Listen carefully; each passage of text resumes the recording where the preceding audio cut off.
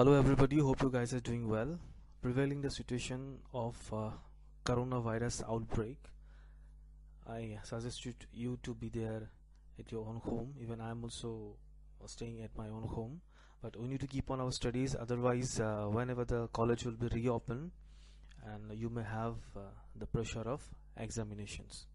So I just request you to be there at your own home. Also, you just keep on studies okay so already you have studies uh, already you have studied about the the pharmacokinetic and pharmacodynamic parts. So let's begin with the next topic drugs acting on autonomic nervous systems. Simply don't watch and listen. Please take your pen and paper and note down everything because uh, certain things I am not including in the PPT but uh, I'm detailing that one. okay okay so let's begin okay. So uh, our topic is the drugs acting on autonomic nervous system. Okay? But uh, before directly proceeding to the, to the to the drugs those who are acting on autonomic nervous system let's have a brief introduction. Already we have studied but then also we must have introduction regarding the nervous system or the classification mainly the classification of the nervous systems. Here you can see the central nervous system already we know it is uh, nothing but the brain and spinal cord. It is comprises of brain and the spinal cord. Next the peripheral nervous system.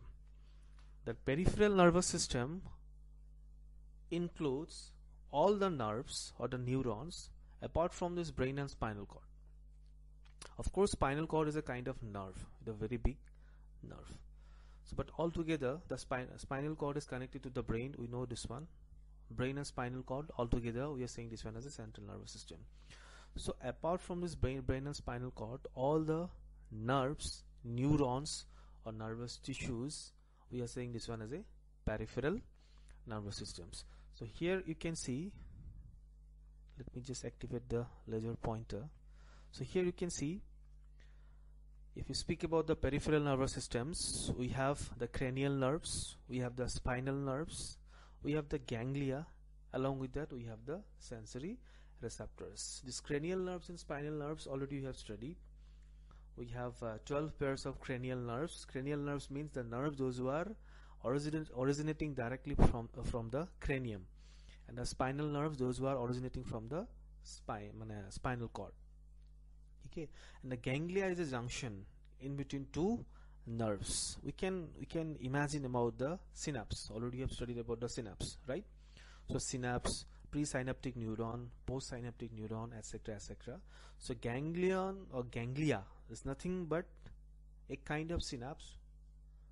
But in this case we are not considering a single neuron. We consider we are considering the group of nerves.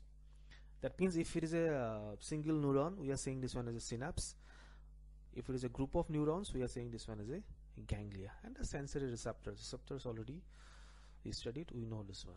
Okay? Next the main part of the peripheral nervous system. The peripheral nervous system comprises of the somatic nervous system or the somatic nerves which is also said as a voluntary. Second is the autonomic nerves autonomic nervous system which is also said to be the involuntary now the point is why voluntary, why involuntary. And we should always remember both somatic nervous system and autonomic nervous system have the efferent division of neurons and it also have the efferent division of neurons. In that afferent divisions of neurons which you say as the sensory also already we know why we are saying sensory because it will, it will carry the senses from the peripheral part of the body to the brain that is why we are saying this one is a afferent. And efferent means it will carry the impulse from the brain to the peripheral part. But where lies the differences? Okay these things uh, must be understand.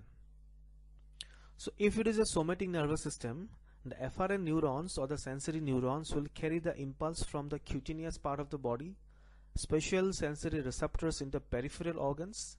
Speci special sensory receptors means we can think of uh, uh, like you know our spatial senses like um, touch vision hearing and um, uh, we can see and then uh, smell the strings uh, from the joints and also from the fascia. Fascia means nothing but it is a kind of fibrous tissues which is covering all the organs. Okay. Now if it is a autonomic nervous system which is involuntary the afferent neurons or the sensory neurons will carry the impulse from viscera to the brain. Viscera means the the uh, important organs of our body those were lies in the abdominal cavity. For example we have the stomach we have the intestine we have the kidneys we have the pancreas etc etc etc so from these organs whenever any neurons or the whenever i mean any impulse will be carried to the brain it is said as the afferent or sensory neurons of autonomic nervous system. Up to this much it was this much it was okay. Now the point is voluntary and involuntary. In case of the efferent impulse or efferent nerves if it is a somatic nervous system the impulse will be carried directly to the skeletal muscle. And we have the control over skeletal muscles. So many examples uh, so many uh, so many times i just give you certain examples like if you want to walk you can walk. If you do not want to walk nobody can force you. Right? It's totally uh, voluntary. It depends on you. Whether you want you do not want. You have a control over your skeletal muscles. That is why we are saying this one is a voluntary. But in case of autonomic nervous system if you consider the efferent nerves which will supply the impulse from the brain to the cardiac muscle smooth muscle as well as the glands you do not have any control over there. You cannot control whether your heart will beat or it will be stopped. You cannot control whether your smooth muscle will be contracted it will be relaxed. You cannot control whether any secretions from the glands will be there or not. You do not have any control over it. Doesn't matter whether you want you do not want. Okay? So if it requires automatically it will happen. And depending on the efferent parts of both somatic and autonomic nervous system we are saying this one is a voluntary as well as we are saying this one is a involuntary this is a very basics already we have studied so the main part here towards parasympathetic as well as the sympathetic division of the autonomic nervous system. So finally the autonomic nervous system is divided in parasympathetic and the sympathetic. So already we have studied uh, like um, in, in, in case of this controlling of the blood pressure the what is the role of parasympathetic nervous system? What is the role of sympathetic nervous systems? Okay. So here mainly in this chapter we'll be focusing on the drugs those who are acting on either parasympathetic nervous system or sympathetic nervous systems. All of us know the parasympathetic and sympathetic are having wide functions in our body they are responsible for like you know increase in the blood pressure they are responsible for decrease in the blood pressure. Again they are responsible for increase in the heart rate decrease in the heart rate. Secretions contractions of uh, like um, smooth muscles skeletal muscles mainly the smooth muscles etc etc so few drugs are there. Those will act on the parasympathetic nervous system. Those will activate the parasympathetic nervous system. And few drugs are there those who are blocking the parasympathetic nervous systems. Okay? So here if you are speaking about the parasympathetic nervous system there will be two classes of drugs we will be studying. Okay? Similarly in case of the sympathetic nervous system also two classes will be there. First one those who are activating this nervous system. Second one those who are blocking this nervous systems. That means under this one chapter drugs acting on autonomic nervous system we have to study four chapters. For parasympathetic two chapters and for sympathetic two, chap two chapters. Okay. Again in the previous classes we mainly focus on the division or the differences of parasympathetic or sympathetic nervous system by concerning the neurotransmitters. We already know parasympathetic nervous system means which will have the acetylcholine as a neurotransmitter. And sympathetic means which will have a adrenaline noradrenaline or dopamine as a neurotransmitters but here we have to study something more or uh, something different also. Not totally different but few few exceptional cases will be finding.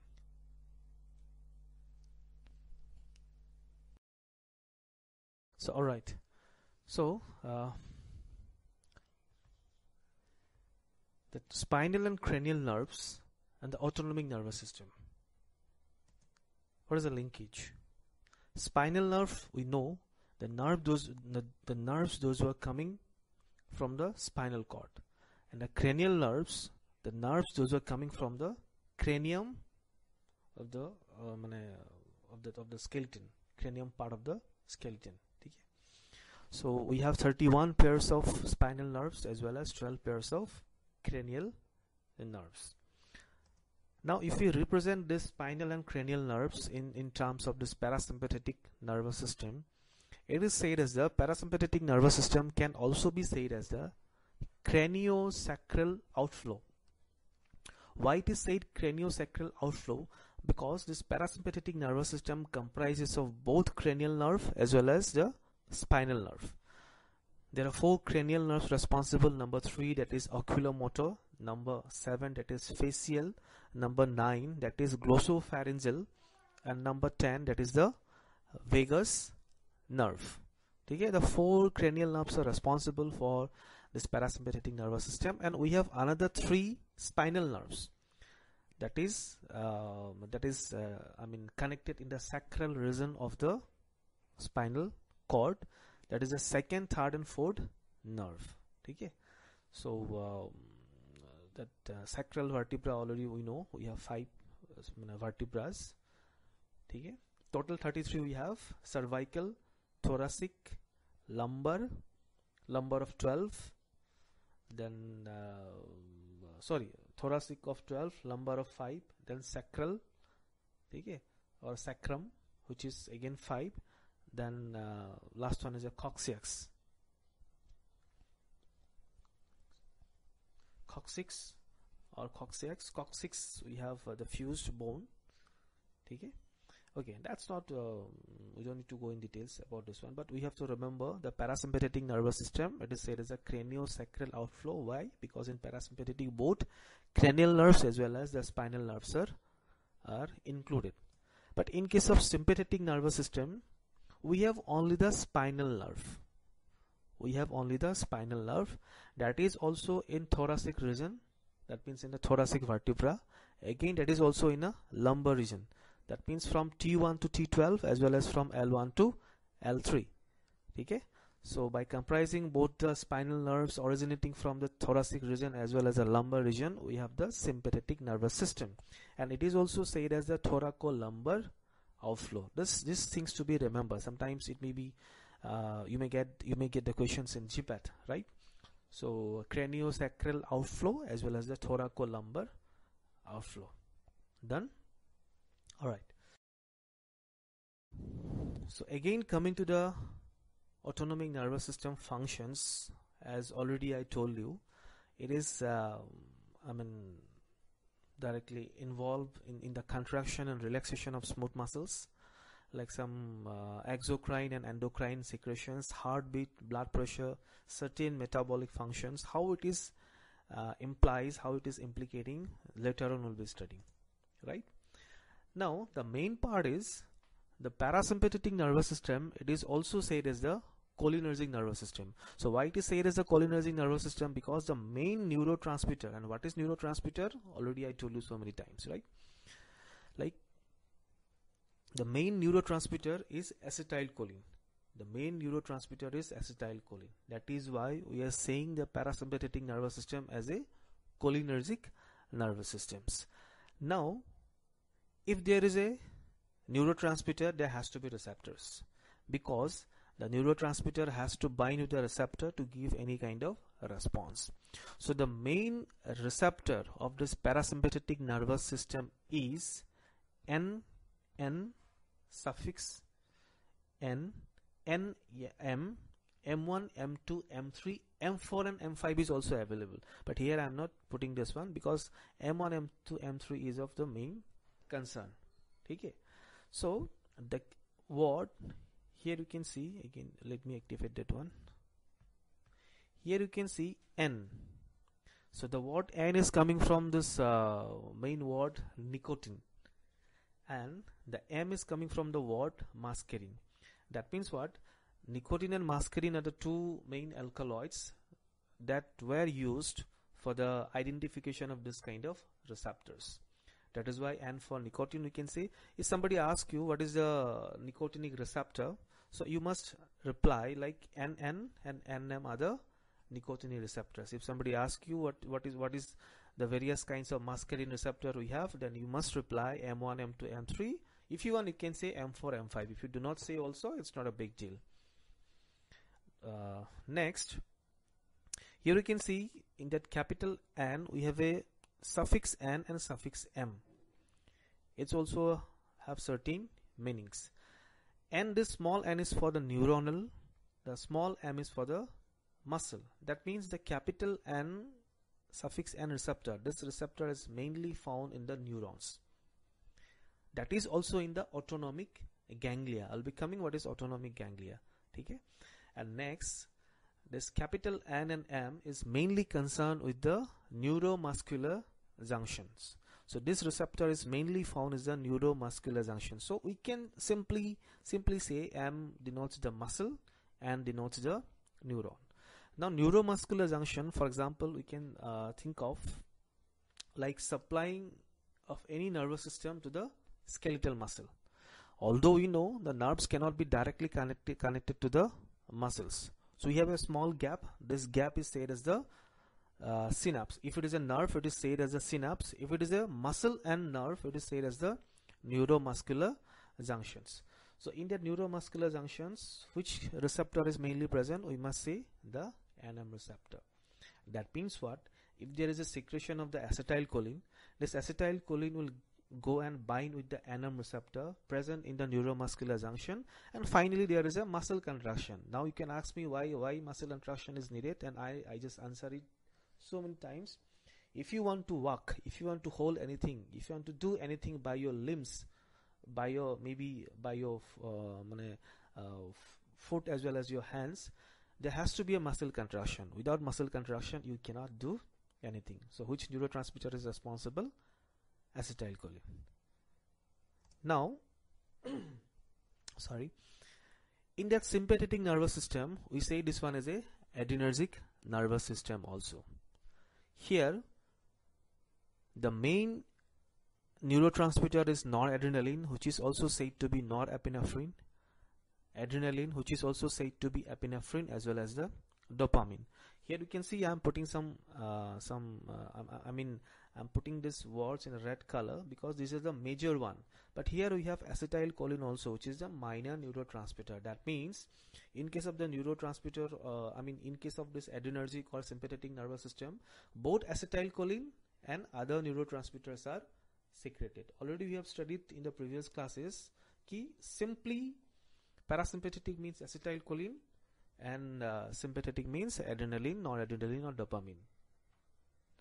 But here one new concept we, we, we have we just we just came across. What is a new concept? Parasympathetic means totally or directly we can say acetylcholine. Sympathetic means all other I mean major neurotransmitters like noradrenaline adrenaline and dopamine along with that acetylcholine. These things to be remembered.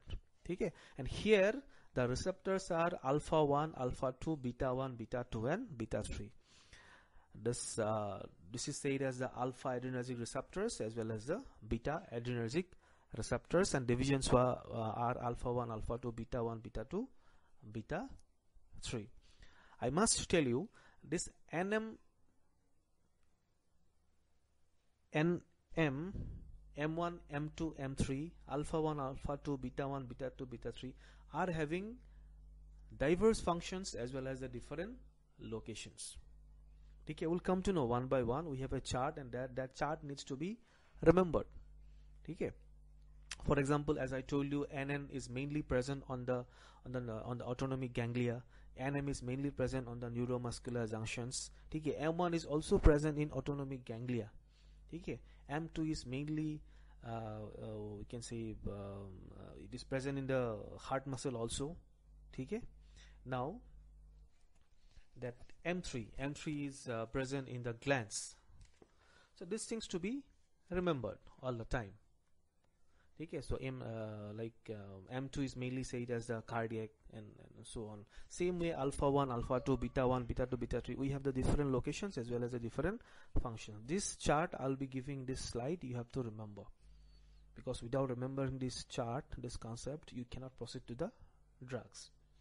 okay now up to this much we have understood parasympathetic nervous system acetylcholine cholinergic sympathetic nervous system acetylcholine noradrenaline adrenaline and dopamine adrenergic. Okay these things we have understood. Now as i told you in this chapter i mean the drugs acting on autonomic nervous system we have four chapters. What are the four chapters? Under this parasympathetic we have to study two chapter. Under this sympathetic we have to study another two chapters. For example if i think of this cholinergic nervous system okay one some some drugs will be there which will work as an agonist okay another drugs will be there which will work as an antagonist. Same way in case of the sympathetic nervous system also one drugs will be there which will work as a agonist another drugs will, will be there which will work as a antagonist so depending on the agonist antagonist agonist antagonist we have four chapters. Now this parasympathetic nervous system or cholinergic nervous system we can say this one as a parasympathomimetic also or cholinomimetic also. Mimetic means mane mimicking the action. You know the word mimicry. Mimicry means what? What what a mimicry a mimicry artist do it just do the actions of certain maybe known film stars or any other celebrities right? Mimicking means doing similar. That is why we are saying this one is a parasympathomimetic cholinomimetic so if i say cholinergic drugs that means we'll have the same action as cholinergic nervous system will have the same action as parasympathetic nervous system will have the same action as parasympathomimetic or cholinomimetic. Ultimately this is a single system. We have four different naming. Do not get confused. Why i'm saying this one? Because sometimes in the examination you'll find write down the example of the drugs uh, acting on cholinergic nervous system. Sometimes you'll find like write down the examples of drugs working in a cholinomimetic nervous system. Or sometimes you'll find like the example cholinomimetic drugs. Answer is same you'll find sometimes example parasympathomimetic drugs. Answer is same. Okay? So this is the system which will facilitate. I told you what is the function of agonist which will facilitate the activity of the endogenous substance? Here what is the endogenous substance? Acetylcholine. Now one chapter is over. Now next chapter the antagonist which will block the function of the endogenous substance. Okay? So it is said as the parasympatholytic और anticholinergic ठीक है parasympatholytic और anticholinergics same thing parasympatholytic और anticholinergics so here we got two chapters first chapter cholinomimetic और parasympathomimetic और parasympathetic और cholinergic another chapter we got parasympatholytic और anticholinergic don't get confused. Everything is same. Same way in case of this sympathetic or adrenergic nervous systems we have sympathetic or adrenergic or sympathomimetic. Okay? And we have sympatholytic or anti-adrenergic. Two chapters that means sympatholytic and anti-adrenergic is same. Lytic means what? Breaking down. Uh, anything which will decrease the function of something or which will uh, deactivate something which will break down something this is what we call as lytic or lysis. Okay so in brief i would like to say i want to i can i can tell you there will be four chapters cholinergic anticholinergic adrenergic and anti adrenergics okay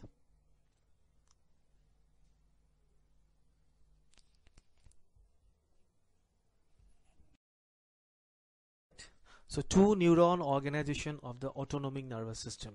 That means how two neurons are connected. So here we need to speak about this ganglion or ganglia. Autonomic ganglia. Why autonomic ganglia? Because it is present in the autonomic nervous system.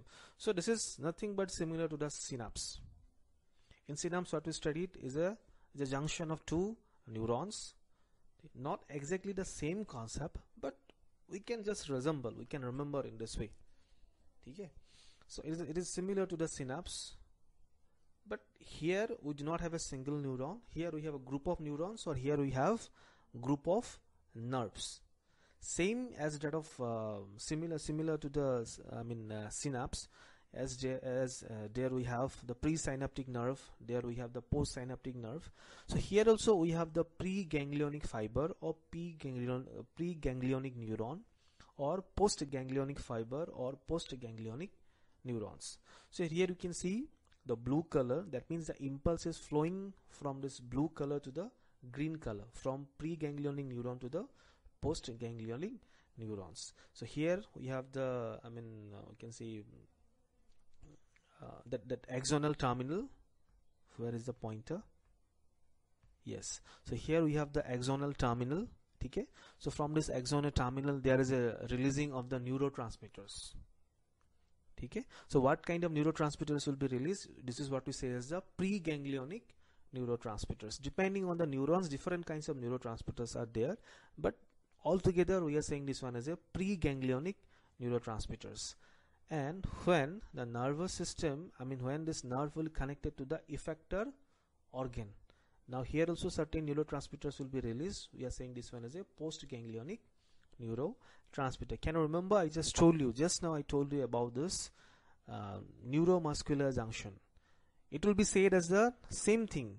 It will be said as a neuromuscular junction if the effector organ is the skeletal muscle we got bit difference that means in uh, I mean in uh, here we do not have any kind of forget about this one forget about this one. Um, this one just remember this is the structure of forget about this one. Just remember this is the structure of neuromuscular junction if this is the skeletal muscle. Okay? So here we have understood preganglionic neuron postganglionic neuron neuron. The junction is said as the autonomic ganglia this neurotransmitter released from the preganglionic fiber or the neuron we say this one as a pre-ganglionic neurotransmitter. And then and that neurotransmitter releasing from the postganglionic fiber we say this one as a postganglionic neurotransmitters. Okay? And here we have the receptors. Here we have the receptors. For example nm receptor if it is a neuromuscular junctions. Now this neurotransmitter will bind with the nm receptor and there is a muscle contraction. That's the concept Next, it is of prime importance. This chart, this chart. I have collected this chart from this uh, pharmacology by H.L. Sharma and K.K. Sharma. Uh, here you'll find peripheral nervous system or efferent part of the nervous system is mainly of this autonomic nervous system and somatic nervous system involuntary and voluntary so what which factor or what factor differ whether it is voluntary or involuntary? We know this one. Here we have here we have the control. Here we do not have the control. So if we do not have the control uh, where we have the control we say this one is a somatic nervous system. I told you already the somatic nervous system what happened? Directly it is supplying the efferent nerves where? To the neuromuscular junction to the skeletal muscle so here the main neurotransmitter is acetylcholine. This needs to be remember. Okay. So as this one is a neuromuscular junction, as NM receptor is present, NM receptor can bound only with the acetylcholine. Why? Because this is the cholinergic receptor only. So in this case, acetylcholine is the main neurotransmitter. So when there is a time for muscle contraction, acetylcholine will be released. It will bind with the NM receptor. There is a muscle contraction. One thing we have to remember you see in another nerves that means in case of the autonomic nervous system all the nerves contain autonomic ganglia. These are the autonomic ganglia. This is the autonomic ganglia. But here we do not have any autonomic ganglia. So the somatic nervous system is lacking of the autonomic ganglia. Autonomic ganglia is mainly found in case of the autonomic nervous systems. Now the divisions you'll find parasympathetic and sympathetic. In parasympathetic nervous system I told you the main neurotransmitter is acetylcholine. You see here preganglionic neurotransmitter is also acetylcholine and postganglionic neurotransmitter is also acetylcholine. If it is a parasympathetic nervous system this things to be remember. Now this acetylcholine will go and bind with m1 m2 m3 m4 m5 it can also bind with uh, i mean uh, neuro uh, nm receptor. Okay? So finally it will affect the neuro effector junctions. Neuro effector it is a i mean we can consider this one as an organ itself neuro effector junctions. Okay?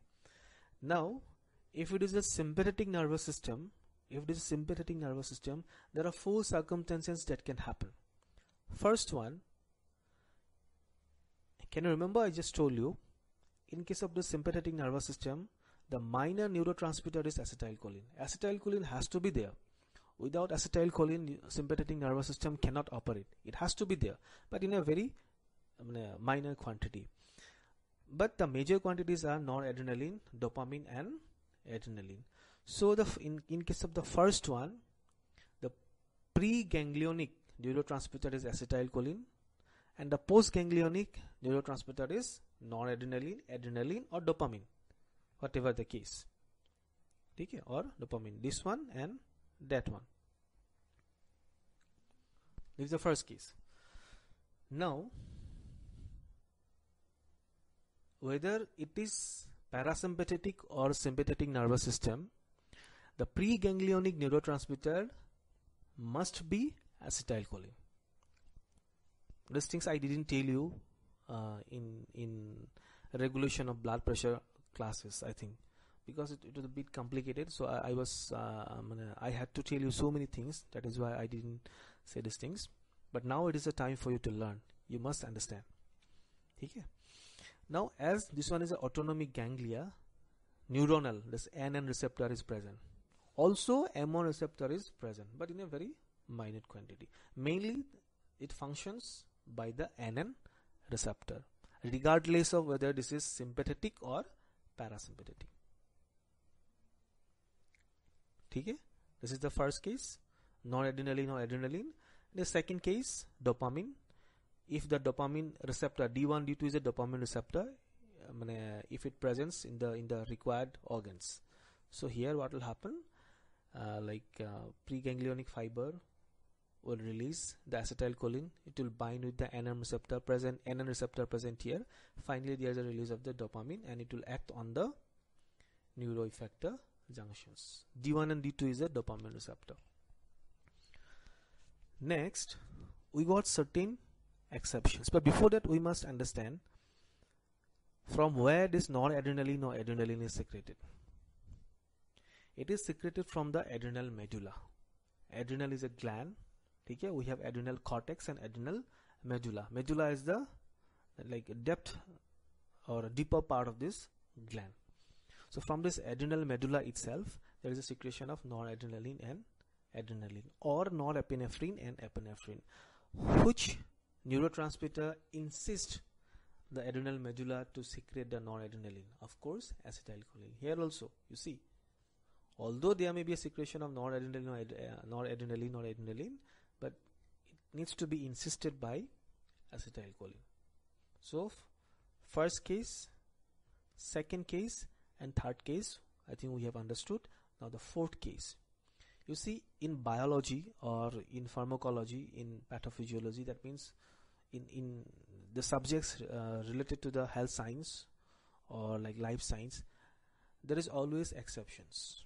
We can never say 1 plus 1 is, is, is equal to 2 I told you this thing so many times.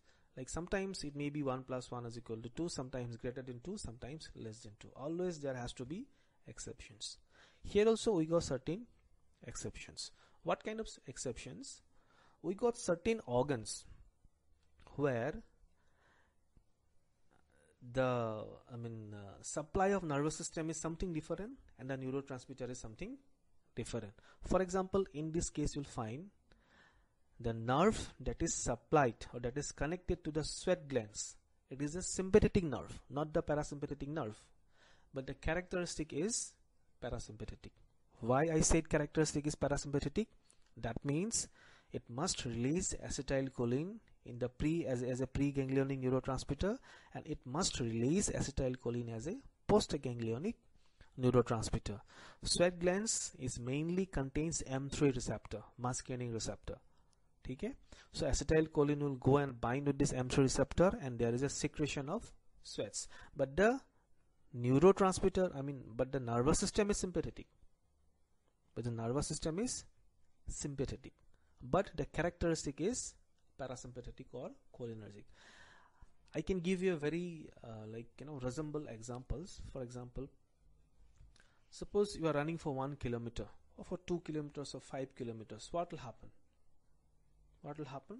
Increase in the blood pressure increase in the heart rate. Why? Because of the activation of the sympathetic nervous system. But there you will find there is also sweating. Why sweating? Why sweating? Because whenever you have run for 2 kilometers there is an activation of sympathetic nervous system. And if there is an activation of sympathetic nervous system it will act on heart as well as it will act on your sweat glands also these nerves also be activated. So same way acetylcholine will be released. Here also acetylcholine will be released. It will bind with the M3 receptor and you'll find the sweating. Very common example. Okay so this things needs to be remembered. Very important. Here you can see chart comprising of different receptors location and function. I'm just making this one as simple as possible. But if you follow the book you'll find certain certain another headings like mechanism how it is acting. Agonist and antagonist. Agonist antagonist will study later. But mechanism if you want you can have a look. Like the brief mechanism already we have studied. That means if it is a NN receptor if it is a NN receptor or if it is a NM receptor how it is working whether this is working by ion channel whether this is working by G protein couple receptor that means whether it is a G protein couple receptor whether it is a ion channel receptor whether it is an enzyme. So depending on the characteristic of these receptors different working mechanisms are there. Or it, if it is a G protein couple receptor what is which is the mechanism? Whether it is CAMP CGMP or IP3 pathway. Okay it is written in the book so you can refer but briefly I'm saying you for example NM receptor it is found in the neuromuscular junction or it is a postsynaptic. It is a postsynaptic. That means in the second nerve. Postsynaptic means what? If you consider a nerve and a skeletal muscle the impulse is coming from the nerve to the skeletal muscle. So nerve will be the presynaptic and the skeletal muscle will be the postsynaptic. So what it will do? It will do the contraction of skeletal muscle same way NN receptor it is found in the autonomic ganglia adrenal medulla or it is also postsynaptic or postganglionic we can say. Okay transmission of impulse to autonomic ganglia firing of postganglionic neuron that means activation secretion of noradrenaline and adrenaline from from adrenal adrenal medulla. Now m1 is mainly we can say found in the gastric paracrine paracrine cells it is found in the CNS also. It is found also found in autonomic ganglia but mainly found in gastric paracrine cells and CNS so what is the function?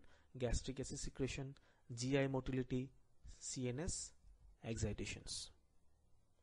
Okay? So this gastric acid secretion M1 receptor this is the causes of acidity. This is the causes of activation I mean secretion of hydrochloric acid from from your stomach. These things will be studying one by one. That is why see if you if you do not remember this chart you don't understand the later topics. So you must remember you must understand this chart. So m2 is mainly cardiac. What it will do? It will decrease in the contractility. Okay? It can decrease apart from this it is present in SN node AV node atrium ventricle. Is a presynaptic nerve terminal not the postsynaptic. So everything it will decrease that is why I, I told you so many times I don't know whether you can remember or not in your previous examples I told you so many times sympathetic nervous system will activate heart functions. Parasympathetic nervous system will deactivate or decrease heart functions. This is the cause. This is the cause. M3 is mainly present in the exocrine gland smooth muscles and vascular endothelium. Okay? It will increase in the exocrine secretion. For example you have seen any food there is a there is a secretion of saliva on your mouth. Why? Because of this m3 receptors smooth muscle contractions. okay release of peptides relaxation of urinary and intestinal sphincters. okay and it can also cause vasodilation. Vasodilation. It is a different topic. I'll let you know in the later on. But the vasodilation directly do not by means of this M3 receptor. It is by means of this NO nitric oxide release. This is a different topic. I'll discuss later. Alpha 1 alpha 2 receptor okay how what it will do the chart just note it down. This one okay so today up to this